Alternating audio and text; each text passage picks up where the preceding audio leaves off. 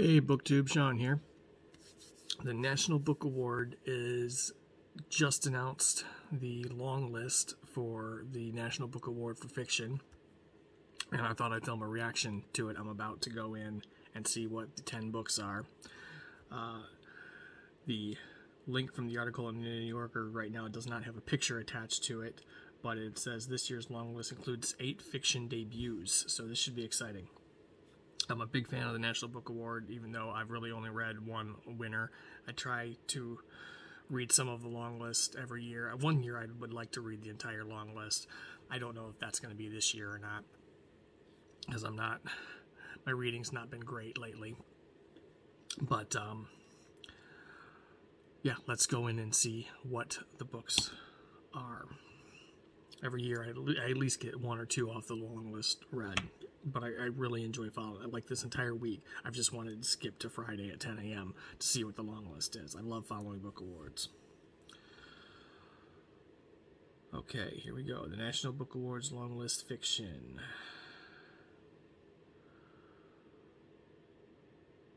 Looks like we've got When We Were Sisters by Fatima Asghar. I'm going to try to pull up descriptions as I read these off so I can read the descriptions afterwards. Shutter by Ramona Emerson. If I Survive You, Jonathan Escoffery. The Rabbit Hutch, Tess Gunty. The Bird Catcher by Gayl Jones. The Haunting of Hajji Hotak and Other Stories by Jamil Jan Kochai. All This Could Be Different, Sarah Thankam Mathews. Uh, Nobody Gets Out Alive by Leigh Newman. Maria, Maria, and Other Stories by Marytza K. Rubio. And The Town of Babylon by Alejandro Varela.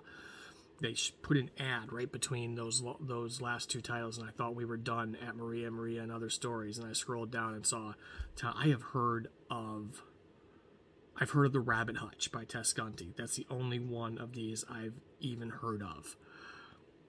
I'm surprised. I, I thought for sure we'd either see Trust by Hernan Diaz or Nightcrawling by Leila Mottley on here. So I'm, I'm very surprised by that. Um, wow, yeah, this should be exciting.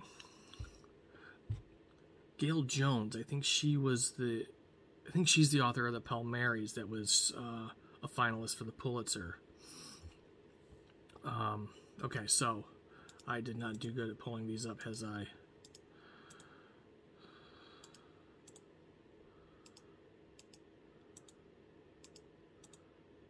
two short story collections. There's always two short story collections on the long list.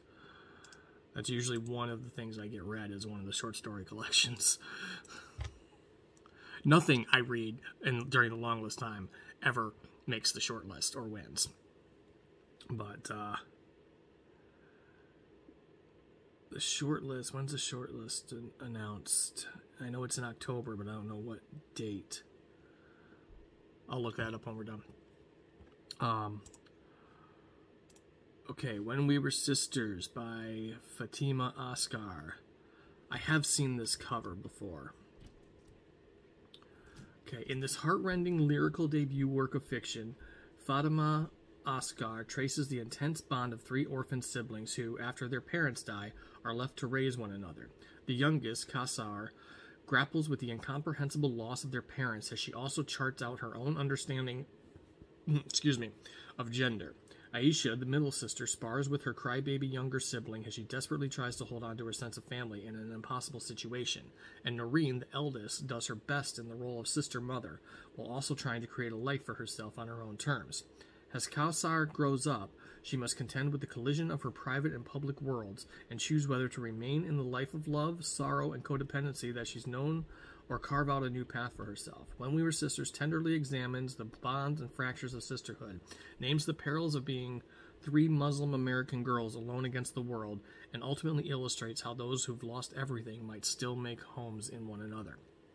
That sounds interesting. I'm definitely interested in that. Okay, next. You know what? I want to check. I've seen this cover, so I want to check the Center for Fiction uh, long list. uh, Center for Fiction First Novel Prize long list. I think we when we were sisters might be on that because I have seen I I have seen that cover. Uh, where's my list of that? Center for Fiction. Here we go. Yeah, when we were sisters. This comes out October 18th. This isn't even out yet. When we were sisters uh, by Fatima Asghar comes out October 18th and is is on the long list for the Center for Fiction First Novel Award.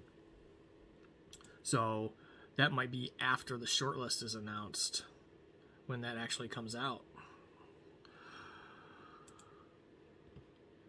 So that's gonna be hard for uh, hard for anybody who doesn't get uh, arcs of these books to uh, to read the entire long list. Okay, Shutter by Ramona Emerson. Uh, this blood-chilling debut set in New Mexico's Navajo Nation is equal parts gripping crime thriller, supernatural horror, and poignant portrayal of coming of age on the reservation. Rita to- Todacheene is a forensic photographer working for the Albuquerque police force. Her excellent photography skills have cracked many cases. She is almost supernaturally good at capturing details. In fact, Rita has been hiding a secret. She sees the ghosts of crime victims who point her toward the clues that other investigators overlook. As a lone portal back to the living as a lone portal back to the living for traumatized spirits, Rita is terrorized by nagging ghosts who won't let her sleep and who sabotage her personal life. Her taboo and psychologically harrowing ability was what drove her away from the Navajo reservation, where she was raised by her grandmother. It has isolated her from her friends and gotten her in trouble with the law, and now it might be what gets her killed. When Rita is sent to photograph the scene of a supposed suicide on a highway overpass, the dubious, discombobulated ghost of the victim, who insists she was murdered, latches onto Rita, forcing her on a quest for revenge against her killers. And when Rita finds herself in the crosshairs of one of Albuquerque's most dangerous cartels, Written in sparkling, gruesome prose, Shutter is an explosive debut from one of crime fiction's most powerful new voices. Interesting. Don't normally see a book like this on the National Book Award long list. Interesting. Uh, I used to read a lot of books like this, but I, I don't so much anymore, and uh, this could be uh, this could be good. Okay, close an ad on every single one of these. All the, all these uh, the links from the in the New Yorker article all linked to bookshop.org uh, pages, and uh, there's an ad on every single one I go to that I gotta close before I can read anything. Um, if I Survive You by Jonathan Escoffery. Uh, okay, I've seen this cover. Um, I just watched a video yesterday. Booktuber, uh, gotta find his name. Brett Benner. He did a video yesterday, National Book Award long list guesses, and he included this book in his uh, in his guesses. And I've, so that's where I've seen this cover. So good job, Brett. Brett. uh, okay, so if I survive you. In the 1970s, Topper and Sonia flee to Miami as political violence consumes their native Kingston. But America, as the couple and their two children learn, is far from the promised land. Excluded from society as black immigrants, the family pushes on through Hurricane Andrew and later the 2008 recession, living in a house so cursed that the pet fish launches itself out of its own tank rather than stay. wow. But even as things fall apart, the family remains motivated, often to its own detriment, by what their younger son, Trelawney, calls the exquisite, racking compulsion to survive. Masterfully constructed with heart and humor, the linked stories in Jonathan S. Escoffery's If I Survive You. Okay, so this is actually ends up being a third story collection.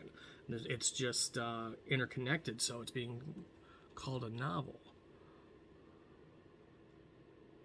Hmm, it doesn't say a novel on the cover. Okay, back to where I was. Uh, the linked stories in Jonathan's If I Survive You center on Trelawney as he struggles to carve out a place for himself amid financial disaster, racism, and flat out bad luck.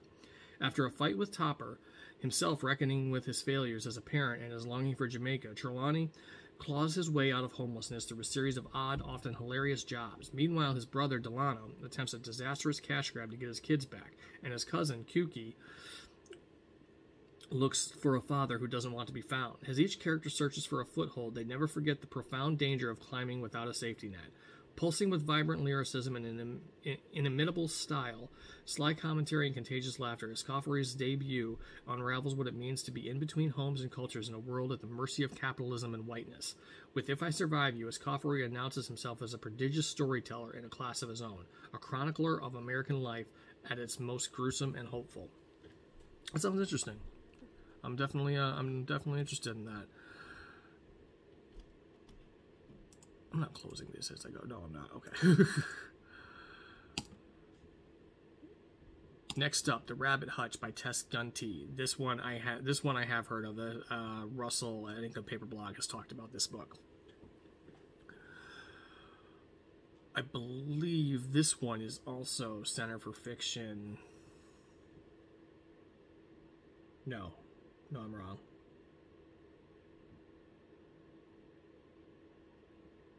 No, I'm wrong. It is not a Center for Fiction First Novel Prize. Just, I've just seen it on Russell's channel.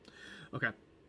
The automobile industry has abandoned Vaca Vale, Indiana, leaving the residents behind, too. In a run-down apartment building on the edge of town, commonly known as the Rabbit Hutch, a number of people now reside quietly, looking for ways to live in a dying city. Here live four teenagers who have recently aged out of the state foster care system three boys and one girl. Blandine, who the Rabbit Hutch centers around. Hauntingly beautiful and unnervingly bright, Blandine is plagued by the structures, people, and places that not only failed her but actively harmed her. Now all Blandine wants is an escape, a true bodily escape like the mystics describe in the books she reads. Set across one week and culminating in a shocking act, the Rabbit Hutch chronicles a town on the brink desperate for rebirth.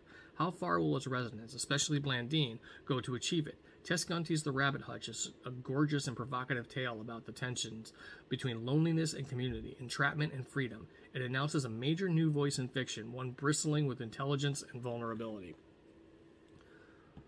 Yeah, no, I'm I'm interested in that one too. So far, so far, I'm liking this long list. Okay. The Birdcatcher, Gayl Jones. Yes, author of Palmares. So this is the uh, this is the author who is uh, a finalist for the Pulitzer Prize this year.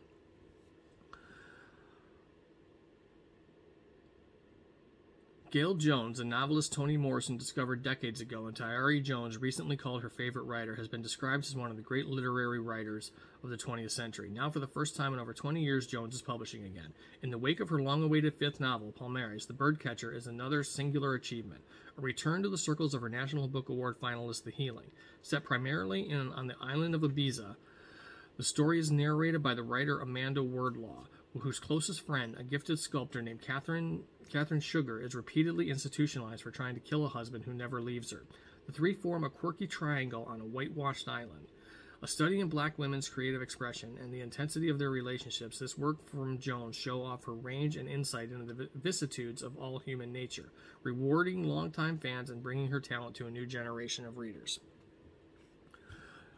I would say, just based off of her being a finalist for the Pulitzer, that I would probably say this already stands a good chance of making the short list. Just just on report card alone. Um, that does sound in, I, and I do have Palmares uh, that I haven't read yet. So we'll see which one I get to first. If I if I decide I want to try and read this long list, it'll probably be this one. Close the ad. The Haunting of Hajji Hotak and Other Stories by Jamil Jan Kochai. A luminous new collection of stories from a young writer who has brought his culture's rich history, mythology, and lyricism to American letters. Sandra Cisneros. PEN/Hemingway. Uh, this is all. Is this all quotes? No. Okay. PEN/Hemingway finalist Jamil Jan Kochai breathes life into his contemporary Afghan characters, moving between modern day Afghanistan and the Afghan, Afghan diaspora in America. And these arresting stories verging on both comedy and tragedy, often starring young characters whose bravado is matched by their tenderness. Kochai is once again Kochai once again captures a singular resonant voice, an American teenager raised by old world Afghan storytellers. In playing Metal Gear Solid 5 The Phantom Pain, a young man's video game experience turns into a surreal exploration of his own father's memories of war and occupation. Set in Kabul, Return to Sender follows two married doctors driven by guilt to leave the U.S. and care for their fellow Afghans, even when their own son disappears. A college student in the U.S. and a college student in the U.S. in Hungry Ricky Daddy starves himself in protest of Israeli violence against Palestine. And in the title story, The Haunting of Hajji Hotak, we learn the story of a man condemned, codenamed Hajji, from the perspective of a government surveillance worker who becomes entrenched in the immigrant's fa- immigrant family's life. The Haunting of Hajji Hotak and Other Stories is a moving exploration of characters grappling with the ghosts of war and displacement, and one that speaks to the immediate political landscape we reckon with today. That sounds like a good story collection. I'm not huge on reading on on story collections. I don't read a ton of them. Um, but a couple years ago, uh, long listed. I believe it was shortlisted too. Um, Secret Lives of Church Ladies became one my, my was my favorite book that I read that year. Now, uh, you know, from coming from the National Book Award. That's usually the only time I read story collections is when they're long listed for the National Book Award my trouble with story collections is I don't ever remember the stories. It takes a really good story collection to really stick with me, and and Secret Lives of Church Ladies was that. So, so I'm def. Uh, I'll, I'll, we'll see what the other story collection is, but if I only get to one of the story collections so far, this looks like it's going to be the one. All this could be different. Sarah Thankam Mathews.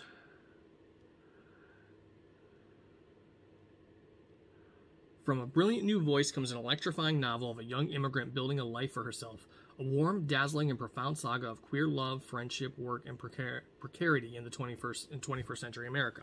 Graduating into the long mile of an American recession, Sneha is one of the fortunate ones. She's moved to Milwaukee for an entry level corporate job that, grueling as it may be, excuse me, is the key that unlocks every door. She can pick up the tab at dinner with her new friend Tig, get her college buddy Tom hired alongside her, and send money to her parents back in India. She begins dating women, soon developing a burning crush on Marina, a beguiling and beautiful dancer who always seems just out of reach. But before long, trouble arrives. Painful secrets rear their heads, jobs go off the rails, eviction looms. Evictions loom. Sneha struggles to be truly close and open with anybody, even as her friendships deepen, even as she throws herself headlong into a dizzying romance with Marina. It's then that Tig begins to draw up a radical solution to their problems, hoping to save them all. A beautiful and capacious novel rendered in singular, unforgettable prose. All this could be different is a wise, tender, and riveting group portrait of young people forging love and community amidst struggle, and a moving story of one immigrant's journey to make her home in the world. Again, it sounds this sounds like kind of right up my alley right now. Um,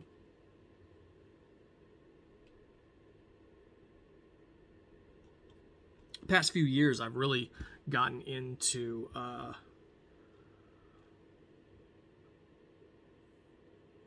books set in India and about Indian characters. Um,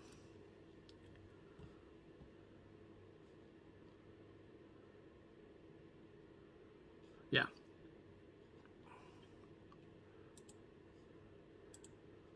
I'm a little uh not woken up yet too. I just got out of bed like an hour and a half ago. Like so uh, about an hour before this long list was and I'm still kind of waking up. I just finished breakfast like the minute before this was this list was posted. Um so if I seem a little uh vacant at times. That's that's why I'm my my brain's still catching up with the rest of my body. um, okay, nobody gets out alive. Stories by Leigh Newman. This is the other short story collection. Set in Newman's home state of Alaska, Nobody Gets Out Alive is an exhilarating collection about women struggling to survive, not just grizzly bears and charging moose, but the raw legacy of their marriages and families. Alongside stories set in today's last frontier, rife with suburban sprawl, global warming, and opioid addiction, Newman delves into remote Newman delves into remote wilderness of the 1970s and 80s, bringing to life young girls and single moms in search of a wilder, freer, more adventurous America. The final story takes place in a railroad camp in 1915, where an outspoken heiress stages an elaborate theatrical production in order to, in order to seduce the wife of her husband's employer. Rich with wit and wisdom, showing us that love, marriage, and family are always a bigger and more perilous adventure than backcountry trips. Kirkus Review starred review. These keenly observed stories prove there are some questions about love, heartbreak, and the meaning of home. That can't be outrun, no matter how hard we try. Nobody gets out alive as a dazzling foil to the adventures of to the adventure narratives of old. Okay, that sounds that sounds interesting. It doesn't sound as interesting to me as the other short story collection. Um, so if I only get to one of the short story collections, like I said, it's probably going to be where was it? Oh, did I close? No, The Haunting of Hajji Hotak and Other Stories. So that would probably be the the first short story collection I'll start. Because I usually always do start one of the short story collections pretty much right as soon as I can get my hands on it because I can read um, like with Secret Lives of Church Ladies I read one story before I went to sleep every night. Um, this this will probably be the if I get to it one. Uh, oh three short story yeah, three short story collections plus plus a book of uh interconnected stories. Because I just pulled this next one up and it's Maria Maria and other stories. How did I not how did that not register when I was reading the list? Oh, because nobody gets out alive does not say stories after it in the New Yorker article. That's why. Okay. But when you go to it, it's nobody gets out alive stories. They didn't add the stories to the New Yorker article. So there's three short story collections plus an interconnected story collection. It's basically four story collections uh, on the long list this year. That's interesting. It's usually only two. Um, Maria Maria and Other Stories by Marytza K. Rubio. Set against the tropics and megacities of the Americas, Maria Maria takes inspiration from wild creatures, terra, tarot, and the porous borders between life and death. Motivated by love and its inverse, grief, the characters who inhabit these stories no- negotiate boldly with nature to cast their desired ends. As the enigmatic community college professor in Brujeria, in Brujeria for Beginners reminds us, there's always a price for conjuring in darkness. You won't always know what, what it is until payment is due. This commitment drives the disturbingly faithful widow in Tijuca, who promises to bury her husband's head in the rich dirt of the jungle, and the sisters in Moksha, who are tempted by a sleek obsidian dagger once held by a vampiric idol. Okay, I'm interested. Um, but magic isn't limited to the women who wield it. As Rubio so brilliantly elucidates, Animals are powerful magicians too. Subversive pigeons and hungry jaguars are called upon in tunnels, and a lonely little girl runs free with resurrected with a resurrected saber-toothed tiger in burial. Hmm, excuse me. A colorful catalog of gal a colorful catalog of gallery exhibits from Animals in Therapy is featured in art show, including the almost philandering fox who longs after the red pelt of another, and the recently rehabilitated paranoid peacocks. Brimming with sharp wit and ferocious female intuition, these stories bubble over into the titular, no- into titular novella, Maria Maria, a tropigoth family drama set in a reimagined California rainforest that explores the legacies of three Marias, and possibly all Marias. Writing in prose so lush it threatens to creep off the page, Rubio emerges as an ineffable new voice in contemporary short fiction. Okay, that one sounds interesting.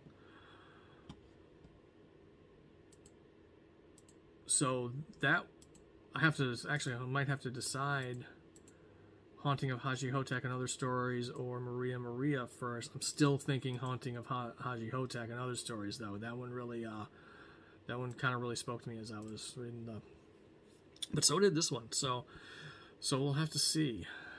Uh The Town of Babylon, Alejandro Varela. Haunting, sublime, solemn, and true Robert, oh, this is a quote from Robert Jones Jr., author of The Prophets. Uh, quote from Deesha, uh, an intense, austere meditation on race, family, class, love, and friendship from Deesha Philyaw, author of Secret Lives of the Church Ladies. So that that that resonates with me right there because I, I, absolutely love Secret Life, Secret Lives of Church Ladies. I'm waiting for Deesha Philyaw to release something else because whatever she releases, I will pre-order it and I will read it and yeah. In this contemporary debut novel, an intimate portrait of queer, racial, and class identity, An- Andreas, a gay Latinx professor, returns to his suburban hometown in the wake in the wake of his husband's infidelity. There he finds himself with no excuse not to attend his 20-year high school reunion and hesitantly begins to reconnect with people he used to call friends. Over the next few weeks, while caring for his aging parents and navigating the neighborhood where he grew up, Andreas falls into old habits with friends he thought he'd left behind. Before long, he unexpectedly becomes entangled with his first love and is forced to tend to past wounds. Captivating and poignant, a modern coming of age story about the essential nature of community, The Town of Babylon is a page turning novel about young love and a close examination of our social systems and they toll they take and the toll they take when they fail us. Again, that sounds interesting. Um, yeah, I'm I'm into this long list. Um, four, three definite short story collections with I've, if I survive you being interconnected stories. It's not it doesn't say a novel like you know how most novel if I survive you a novel. It doesn't say that on the cover, so I don't know if this is being considered a story collection or if it's being considered.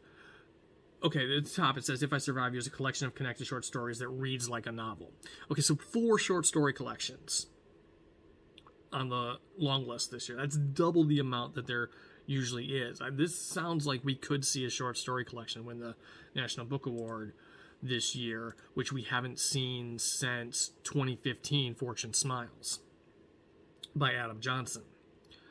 And before that, and and that's been the first time this century that a short story collection has won the National Book Award.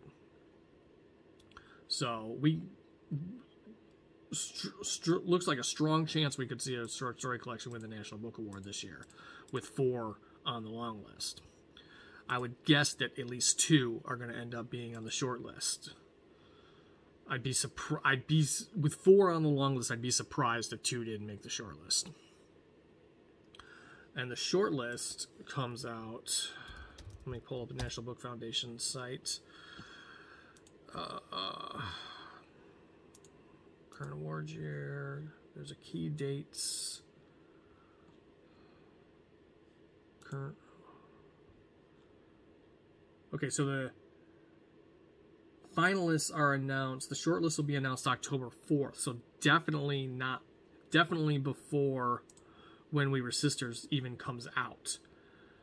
We When We Were Sisters comes out October 18th, which also happens to be my father's birthday.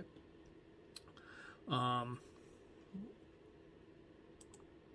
and the award is announced on November 16th. This is my this is my one gripe with the National Book Award is they don't give a lot of time between the long list being announced and the short list being announced. So there's not a lot, if you want to read the entire long list before the uh, before the short list is announced, you got to cram 10 books into about two and a half to three weeks. So I know I know Russell manages it every year. I don't know how he does it, but I know he also reads fast and combines with audio and but he he, he gets it done. In my readings pace this year, that's definitely not going to happen. Um, I won't. I will. Even if I was reading at my fastest paces, I probably would not get this entire long list read before October 4th.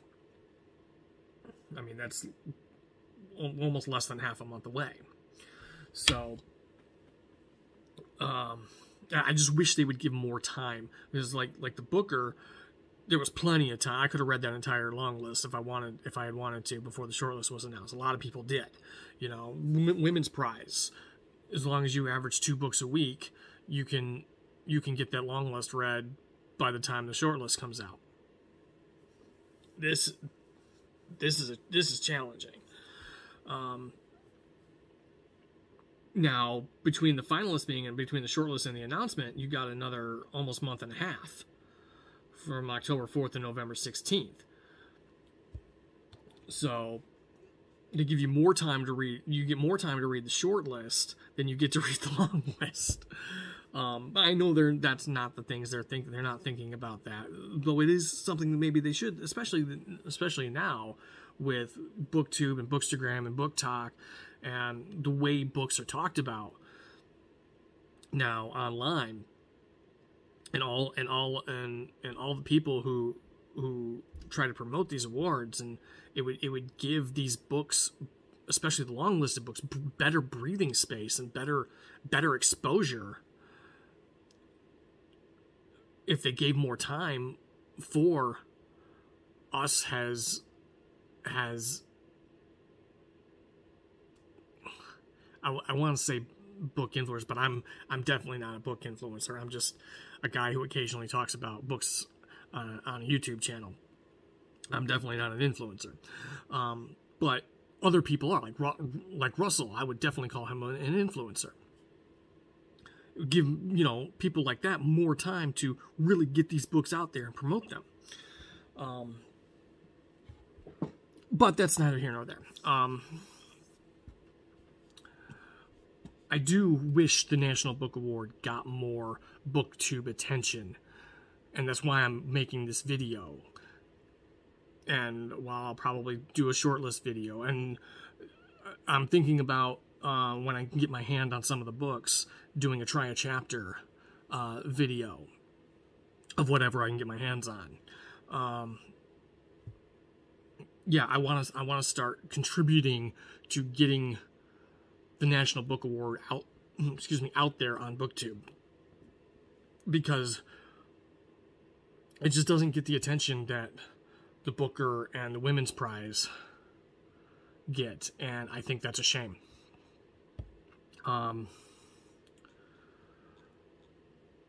but yeah, I'm I'm I'm kind of into this long list. This this seems like a different long list than we've seen in past years. Like no, other than Gayl Jones, no eight debut eight debut novelists, eight de- eight debut authors on this. I don't know. I know Gayl Jones is definitely not, and I don't, but I don't know who the other non-debut author is. Um, that's a debut. I know that's a debut because it's on the Center for Fiction list. Uh, this is a debut. Rabbit Hutch, I believe, is a debut. Yeah, that's a debut. That's a uh, bird, Birdcatcher. That's Gayl Jones. That's not a debut. That might. That one doesn't. Ex, Haunting of Hajji doesn't explicitly state debut. Uh from a brilliant new voice, so all this could be different to debut. Nobody gets out alive. Debut story collection. Maria Maria and other stories. Uh,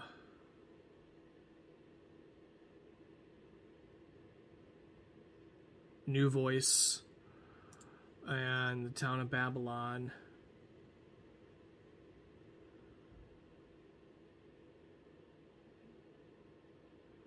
Okay, this one doesn't explicitly state debut. So let me click on this author's name and see what comes up. Okay. Uh, this is a debut novel, though, but it's not a debut book. He has a Alejandro Varela has a uh, short story collection too. Let's go back to uh, which one was it? I don't remember which one it was. Okay, well, I'll figure that out later. But uh, yeah, eight debut authors. That's insane. I don't think I've ever seen that many debut authors on an award other than the Center for Fiction First Novel Prize. Um, I'm surprised. I'm actually surprised that there is not more crossover between with so many debut authors on the on this long list. I'm surprised there's not more crossover with the Center for Fiction first novel prize, but there's not. Only only when we were sisters. Interesting. So okay, so when we were sisters, let's just look at releases. I know is comes out after the long list. Uh, Shutter is available now. If I Survive You is available now. The Rabbit Hutch I know is available now. Birdcatcher September 13th, so that just came that came out this week. Haunting of Hajji Hotak July 19th, so that's already out. All This Could Be Different is currently out. Uh, Nobody Gets Out Alive, that is also currently out. Maria Maria and Other Stories, that is currently out. The Town of Babylon. I'm doing this because the uh, the the guidelines are um, it has to be released by uh, November 1st, uh, by October 30th, I think. It's either October th- October 30th or November 30th. Um, so there could potentially be more books that are not released yet. Um, March 22nd for The Town of Babylon. So, yeah, When We Were Sisters is the only book that has not released yet. So, yeah, I'm I'm gonna see what I can get my hands on. Um, and then maybe I'll do a try a chapter video with what I can get my hands on. Um, anyway, that's it for this video. Um, let me know if any of these sound interesting to you. Do you uh, enjoy the National Book Award? Do you like to follow uh, the long list and that? And uh, are you going to try to get to any of these books? Uh, let me know down in the comments, and I will see you all in the next one.